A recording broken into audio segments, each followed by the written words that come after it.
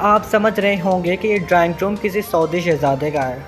नहीं नहीं, ये ड्राइंग रूम पीपल्स पार्टी के मिनिस्टर अनवर सुहेल सयाल के लड़काना के घर का है। सोने का पानी चढ़ा यह फर्नीचर 12 साल की पीपल्स पार्टी की लूटमार की बदौलत है। पिछले 12 साल से जरदारी से लेकर सैकड़ों पीपल्स पार्टी के लुटेरे पूरे सिंध को खा गए और अपने ऊपर सोना चढ़ाने में लगे हैं। नैब सखर ने तीन से चार दिन पहले मिनिस्टर सुहेल अनवर सयाल के घरों पर छापे मारे, जहाँ ये सोने के पानी वाला फर्नीचर दरियाफ्त हुआ।